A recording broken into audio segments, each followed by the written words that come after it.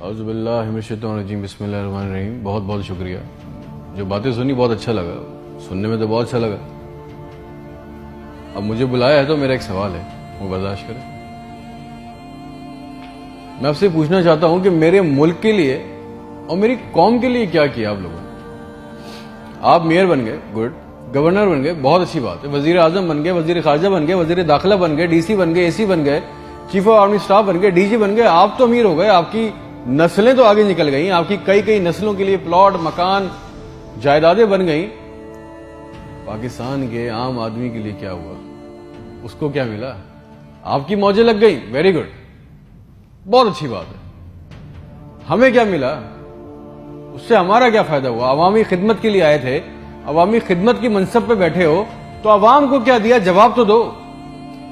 दो दो सौ फालतू लोग हमारे मुल्क से हज और उम्र करने जाते हैं हमारे खर्चे पे। पेरिस के, फ्रांस के दौरे। आम की पेटियाँ जा रही हैं, साड़ियाँ जा रही हैं, हमारे पैसों से। उससे हमें क्या मिलेगा? इस बात का तो जवाब दो। आप दो दो सौ लोग हमारे खर्चे उम्र करने जाओगे, हमारे गुना बख्शेंगे। नहीं, आपके बख्शे जाएँगे अल्लाह जानता है। पूरी कौम को ट्रक की बत्ती के पीछे लगा दिया। पाकिस्तान खतरे में, इस्लाम खतरे में है इंडिया दुश्मन है, कश्मीर को आज़ाद करना है। ना पाकिस्तान के लिए आज तक किसी ने कुछ किया, ना इस्लाम के लिए कुछ किया, ना घंटा इंडिया में कुछ बिगाड़ सके। मोदी अपनी तकरीरों में कह रहा है, छोड़ दो पाकिस्तान को। वो अपनी मौत खुद मर रहा है। जरदारी चोर, नवाज़ चोर, इमरान चोर, इसका पैसा, उसका पैसा ना कोई पकड़ा गया आज तक इस मुल्क में। ना किसी का पैसा वापस आया। इसकी बारी, उसकी बारी, अब उसके बेटे की बारी, अब उसकी बेटी की बारी। अवाम को टेनिस के मैच में लगाया हुआ है। बॉल इधर, बॉल उधर। टेनिस का मैच चल रहा है, हमें इससे कोई फ़ायदा नहीं हो रहा। एक गरीब, मकरूज, लाचार मुल्क, खरबों रुपए का बजट तो इतनी बड़ी बड़ी जायगेंटिक काबीना खा जाती है। करती क्या है ये? इतने इतने वज़ीर, इतने इतने मुशीर, इनका काम क्या है? प्रोटोकॉल, शाही खर्चे अयाशियाँ वो चाँद देखने आते हैं। आपको पता है ना? खबर ली कोई सबने देखा, वो चाँद देखने आते हैं। इवेंट बनाए हुए पाकिस्तान में चाँद देखने को, वो चाँद देखने आते हैं। लाखों रुपए के खाने खा जाते हैं। सारी दुनिया में आप ट्रैवल करते हो, देखिएगा कि वहाँ पे बोर्ड लगे होते हैं। ट्रैवल बसेस के अंदर जगह जगह के कौन सी डेट पे कौन सा इवेंट होगा। हमारे मुल्क में चाँद देखना भी एक इवेंट है। कई कई दर्जन लोग आ रहे हैं जी, चाँद देख रहे हैं, खाने आ रहे हैं बड़े बड़े खाने ऑर्डर हो रहे हैं। भाई, मज़ाक लगाया हुआ है हमारे साथ। किसी के पास एक प्लान है। जो जो हमारे ऊपर हुक्मरान, अवामी मनसब पे आ रहे हैं, मुझे बताएँ, किसी के पास कोई एक प्लान है आवाम के लिए जॉब्स के लिए ह्यूमन राइट्स के लिए? एक मास्टर प्लान बनाया आज तक इस काबीना ने। और अगर है तो मुझे लाके दे। और अगर नहीं है तो आपको कोई हक नहीं है कि आप हमारे ऊपर हुक्मरानी करें। अगर आपको हुक्मरानी करनी है तो हम सबको एक सवाल करना होगा। आज हम सबको एक सवाल पूछना होगा कि जो जो हमारे ऊपर इस, इन मनसब पे आके बैठता है, वो हमें लिख के दें गारंटी दें कि आइंदा कोई औरत सिंध के अस्पताल की दहलीज पर बच्चा पैदा करते हुए नहीं मरेगी। हमसे आगे वादा करें कि आइंदा किसी अस्पताल की छत पे से लाशें नहीं मिलेंगी।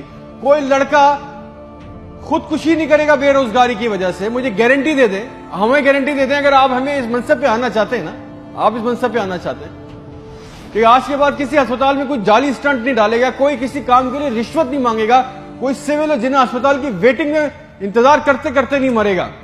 कोई पाकिस्तान में कोई किसी को ज़मीन पे किसी की कब्जा नहीं करेगा। आइंदा इंसाफ के लिए कोई बार बार कोर्ट कचहरी के चक्कर नहीं लगाएगा। आप हमसे ये कमिटमेंट कर लें, लिख के दे दें, वादा कर लें। आपको हमसे जो गारंटी चाहिए, जो वोट चाहिए, जो आपको हमसे सपोर्ट चाहिए, आपके लिए करने को तैयार है। कोई औरत लिख के दे दें कि आज के बाद नहर में अपनी बच्चियों के साथ नहीं कूदेगी क्योंकि उसके पास रात के खाने के पैसे नहीं है। कोई बेकसूर जेल में नहीं सड़ेगा।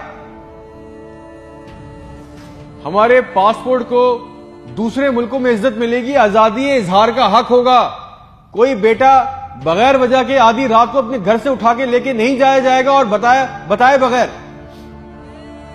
और जितना आवाम का हमारा पैसा, हमारा हक लूटा गया है, वो पैसा भी वापस आएगा। आप लेके आएँगे। तो ठीक है, आपने जो कहा, बहुत अच्छा लगा फिर। फिर जो आप चाहते हैं, जो सपोर्ट कॉपरेशन हमसे चाहिए, हम देने को तैयार है। अवाम देने को तैयार है। और अगर नहीं दे सकते तो फिर तो हम बोलेंगे।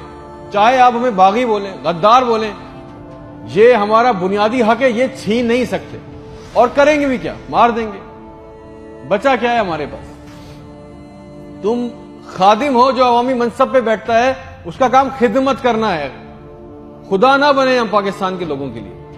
कोई प्लान कोई रूट मैप आपको पता है रियलिटी चेक ये कि पच्चीस हज़ार लोग 25 करोड़ लोगों को अंगूठे के नीचे दबा के बैठे।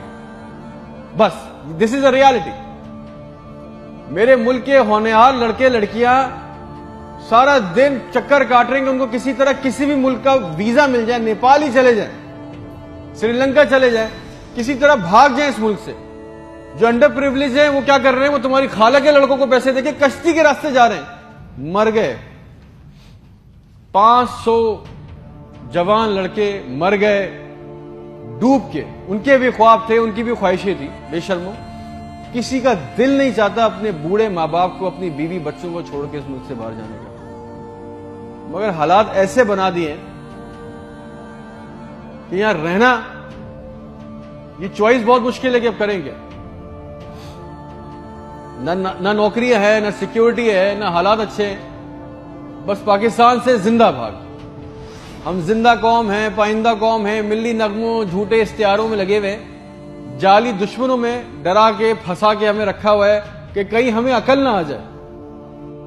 और सच तो यह है कि ना हम ज़िंदा रहे, ना कौम रहे। और एक बात याद रखना ये आवाम मर गई ना तो इसके हुक्मरान भी मर जाएँगे। याद रखना ही शुक्रिया।